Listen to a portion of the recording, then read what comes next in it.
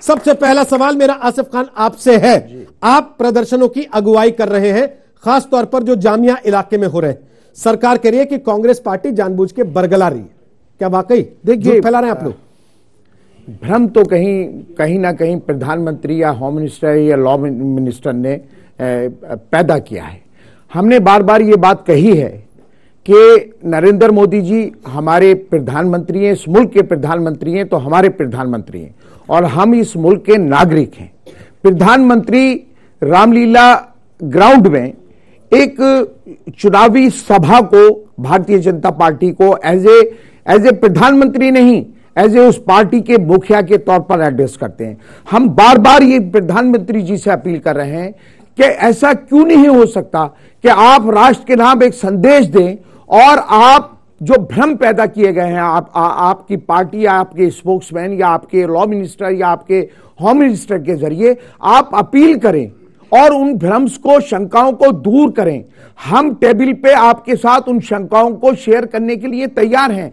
ऐसे ना जाने हिंदुस्तान में कितने वाक्य हुए चाहे रिजर्वेशन के मामले में हो, कि जब प्रधानमंत्री की तरफ़ से अपील हुई और लोग टेबल पे बैठे, उन शंकाओं को दूर किया। हमारे प्रधानमंत्री हैं। इस मुल्क के प्रधानमंत्री हैं, हम इस मुल्क के नागरिक हैं। हमारी ज़िम्मेदारी है कि हम अपने प्रधानमंत्री को एहतराम दें, इज़्ज़त दें और उनकी बात पर यकीन करें। लेकिन जब वो प्रधानमंत्री की हैसियत से अगर कोई स्टेटमेंट पूरे देश को संबोधित करेंगे हम बिल्कुल उनकी बात को मानेंगे। ऐसा नहीं है कि हम नकार देंगे तो टेबल पे किसको बुलाएँ? आसिफ खान को बुलाएँ कि राहुल गांधी को बुलाएँ? देखिए देखिए देखिए बात आप सुनिए।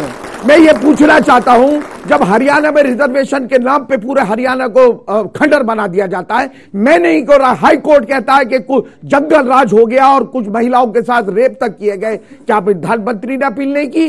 क्या गवर्नमेंट के साथ हरियाणा के लोग जो हैं क्या टेबल पे शेयर ने, नहीं, नहीं, नहीं कर रहा नहीं की मैंने आपने जो दो बातें कही हैं तो आज मैंने उसी में से एक पे सवाल पूछा। आशंकाएँ उनकी भी आपने दो बातें कही। एक आपने कहा प्रधानमंत्री राष्ट्र के नाम अपील कर दे। दूसरा, आपने कहा टेबल पे बुलाकर बात कर ले। तो मैंने पूछ लिया कि टेबल पे किसको बुलाना है? आसिफ खान को कि राहुल गांधी को? देखिए, यहाँ कांग्रेस की लड़ाई नहीं है।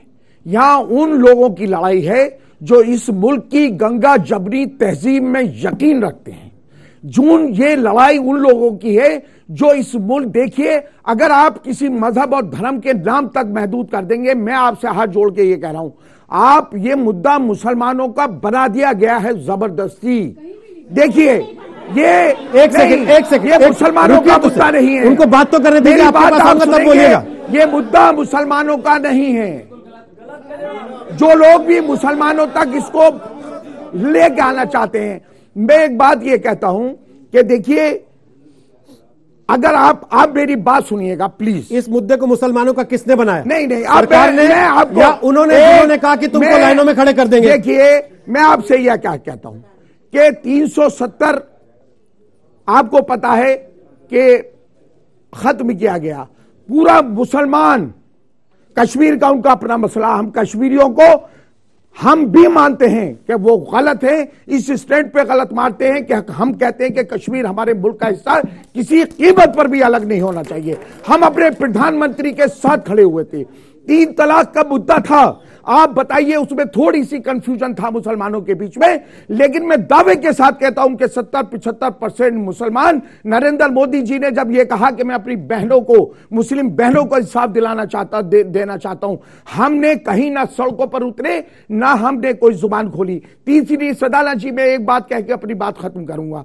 देखिए हर किसी रिलीजन में यकीन रखने वाले लोगों को अपनी इबादत गाह या अपने रिलीजन में का एहतराम होता है। बाबरी मस्जिद पर सुप्रीम कोर्ट का डिसीज़न आता है। ना हम सड़कों पर उतरे, ना हमने ज़ुबान खोली। हमने इस्लाम से ज़्यादा, अपनी इबादत गाह से ज़्यादा इस मुल्क के आइन को, इस मुल्क के संविधान को तरजीह दी और हमने वेलकम किया। ना हम सड़कों पर उतरे, ना हमने ज़ुबान खोली, ना आज आज देखिए हमारे आबो अजदाद हमारे बुज़ुर्गों ने वो चाहे किसी भी मज़हब में यकीन रखते हो। आप उनसे हमें जोड़ेंगे हम हम हम आप ये देखिए हमने बड़ी कुर्बानियाँ दी हैं। आज भी हम उन लोगों को पाकिस्तान में हम ये बात दावे के साथ कहते हैं कि वो लोग गलत उस टाइम पे भी थे और आज भी हम उनको गलत मानते हैं।